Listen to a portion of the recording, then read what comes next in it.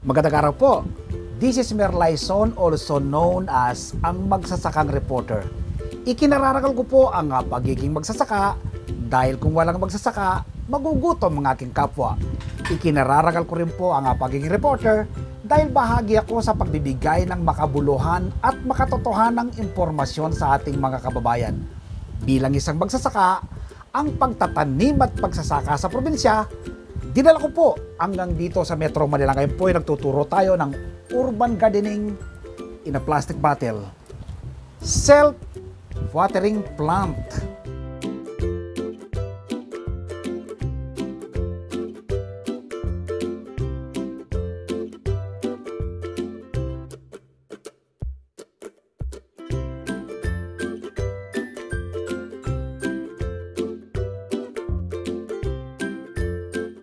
Ngayon po ay ibabahagi ko sa inyo ang kahalagahan ng cutter pruner sa ating mga halaman.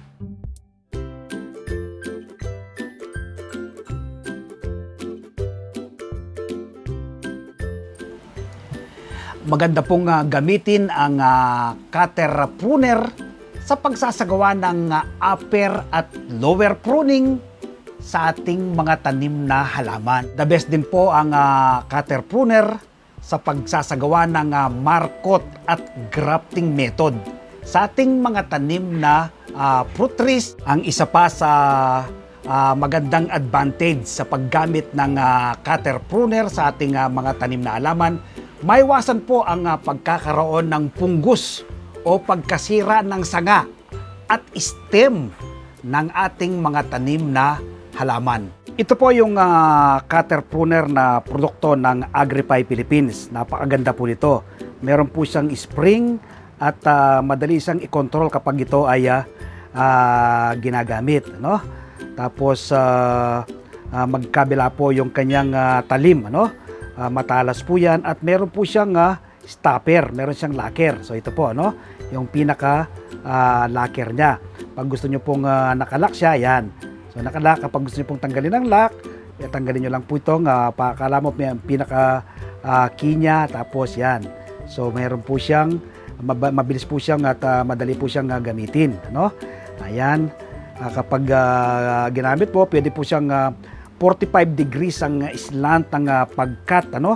pag-pruning sa ating mga tanim na ah, halaman. Pwede po siyang ah, diretso din at uh, pwede nga side view at ah, at napaka ah, gentle po niya no at ah, friendly siyang gamitin sa ating mga tanim na halaman itong ating ah, cutter pruner na gawa po ng Agripie ah, Philippines. So ngayon po ay uh, magpupruning tayo. Gamitin natin itong ating ah, cutter pruner sa ating mga tanim na halaman. So gamit po yung ating ah, cutter pruner, magsasagawa po tayo ng upper pruning sa ating ah, mga tanim na okra. So ito po yung ah, ating ah, cutter. Ah, tanggalin nyo lang po yung uh, ikakatyo lang pong ganito. Yan. Sa tapos ito ah, upper pruning po ang ah, ah, tawag dito. Yan, no? So ito naman ang ating ah, i-upper pruning. Ayan. Tapos ito ang ah, kaya po natin din sinasagawa ang ah, pagpupruning sa ating ah, ah, mga tanim na okra nang sa ganon na ya, ah, magkaroon po sila ng ah, mas maraming ah, sanga.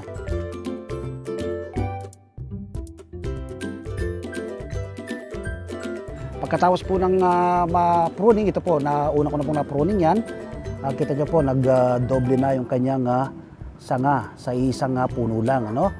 Yan sa dalawa. Yan.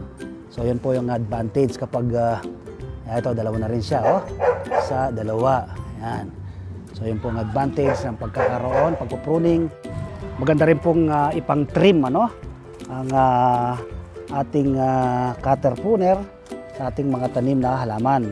Pagtanggal po ng mga uh, mga matatandang uh, uh, daon ano Okay, mga tuyong daon ating uh, uh, mga tanim na halaman. Ito kagaya po nito. Ito po yung ating uh, tanim na uh, luyang dilaw. Ano? Hanggang ito po yung uh, mga pangit niyang uh, mga daon. Kanina sa ating mga batang tanim na okra ay uh, upper pruning, ngayon po ay lower pruning naman. Itong matandang uh, uh, mga tanim nating okra. Yan.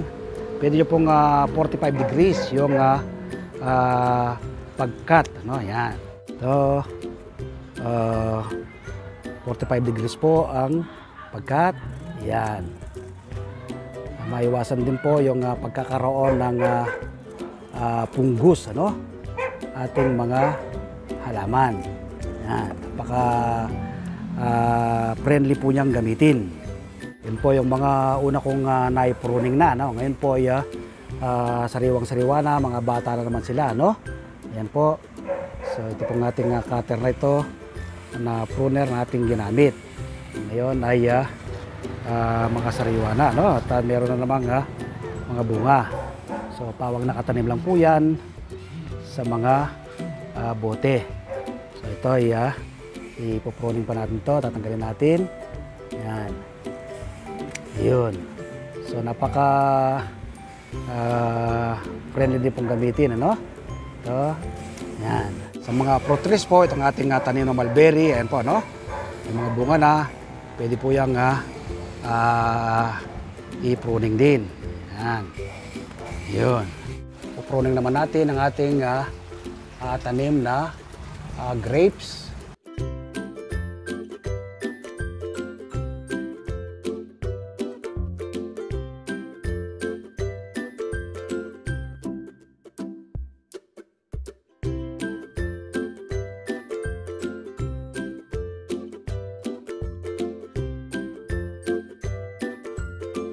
Sa pagmarkot ay maganda rin pong uh, gamitin ano?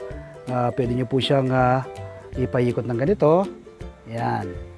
Tapos uh, dito sa kabila. Ayan.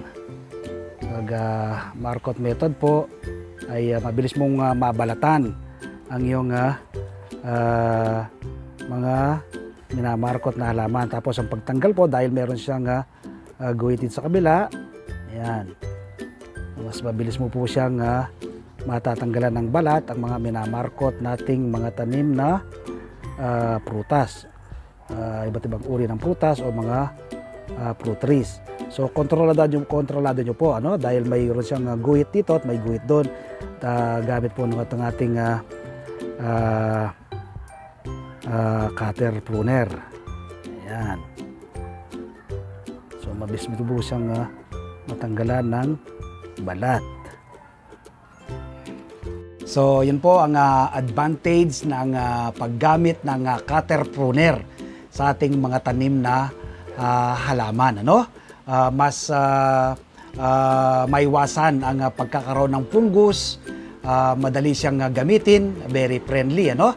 Meron siyang spring at uh, uh, napaka uh, ganda po ng uh, resulta sa ating mga tanim halaman kapag kayo po ay nagkasagawa ng uh, upper at lower pruning markot at uh, grafting method sa ating mga tanim na halaman. Gamit, mo, gamit po itong uh, uh, cutter pruner. Nawa po ay nakapag-share ako, nakapagambag ako ng uh, panibagong kaalaman kaugnay po ng uh, paggamit ng uh, cutter pruner sa ating planting 101. Kung may natutunan po kayo, no? I-share nyo po sa inyong mga kaibigan, sa inyong mga kamag-anak. Itong ating uh, video tutorial na ito ng sa ganoon ay marami po tayong maabot at matulungan na ating mga kababayan. Papalaganapin po natin ang organikong pagsasaka dito sa ating bansa. Ako po ay napakarami na ng tanim ano, ng iba't ibang uh, gulay at uh, prutas. Pero patuloy pa po akong nagtatanim. Ako po kasi naniniwala ng pagkakaroon ng seguridad sa pagkain dapat magsimula sa ating mga tahanan. Food security starts at home. Nagawa ko po ito, magagawa rin po ninyo. Bilyon-bilyon po ngayon ang nagugutom maraming kabataan ang dumaranas ng malnutrisyon. Ito po ang aking nakikitang solusyon, ang pagtatanim ng ating sariling pagkain. Ano po bang makukuha po ninyo o ma-achieve po ninyo kapag kayo nagtatanim ng inyong sariling pagkain? Una po, makakatipid ka. Pangalawa, masustansyang pagsasaluhan ng buong pamilya.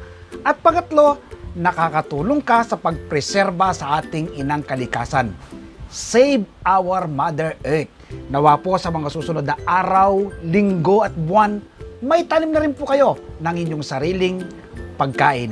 Ngayon po shoutout tayo sa ilan sa maraming nanonood dito sa ating YouTube channel na ang Bagsasakang Reporter.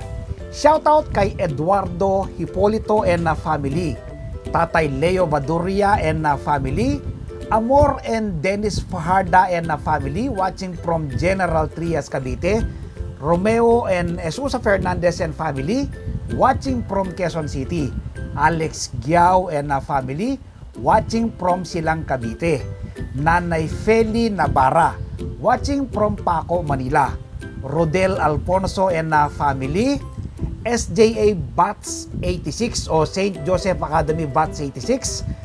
Congrats sa matagumpay ninyong uh, uh, reunion. Ano? Happy wedding kay uh, Jobert and Diana Rose sa Kunanan.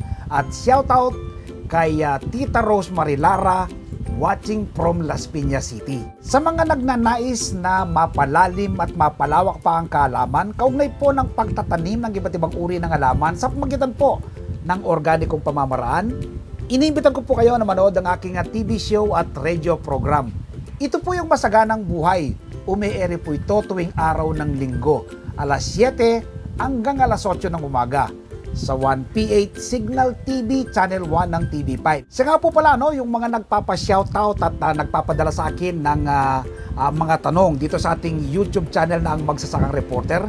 Sinasagot ko rin po yan ano, uh, sa aking uh, TV show, sa aking uh, Q&A portion. Dito ko po kinukuha dito sa ating uh, YouTube channel ang uh, uh, mga tanong na aking uh, sinasagot. Kaya manood din po kayo ng aking uh, TV show every Sunday. Masaganang buhay po yan, alas 7 ng umaga. Simulcast po ito sa Radyo 5, 92.3 News FM.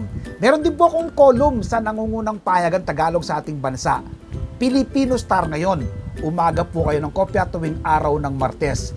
Isinusulat ko po rito ang iba't ibang do-it-yourself tips at iba pang sikreto sa pagsasaka. At siyempre po yung hindi pa nakasubscribe dito sa ating YouTube channel na ang Magsasaka Reporter, mag-subscribe na po kayo, no? Like and share, click na bell button nang sa kanon ay uh, ma-inform po kayo kapag may mga bagong uh, video tutorial, video upload upang ma-share ko po sa inyo ang pahiram na talento ng ating Panginoon.